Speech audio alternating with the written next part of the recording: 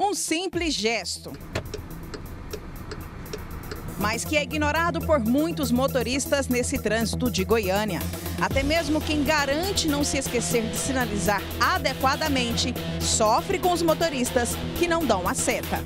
Já precisei buzinar e algo até mais, né? Dar aquela xingadinha básica. Oh! Tem condição não, tem pessoa que não tá nem aí pra seta, parece que seta foi feito de enfeite. Praticamente o tempo todo. O pessoal aqui em Goiânia não, realmente não dá seta.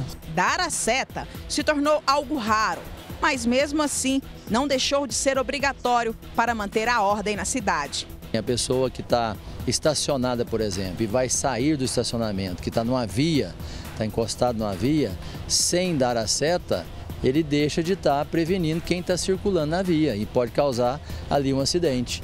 Quem está circulando na via vai virar à direita ou à esquerda, se não der acesso à seta, ele pode até atropelar uma pessoa. O motorista que não liga a seta informando qual a intenção dele no trânsito comete uma infração grave, podendo pagar uma multa de R$ 195,23, além de ganhar cinco pontos na carteira. Expressão ligar a seta é citada quatro vezes no Código de Trânsito Brasileiro.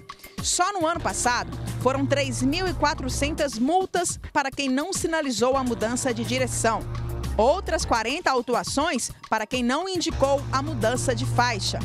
Quatro multas para quem não deu a seta para sair com o veículo. E uma pessoa foi multada por não dar a seta para estacionar. No total, foram 3.445 multas em 2017 por esquecimento da seta.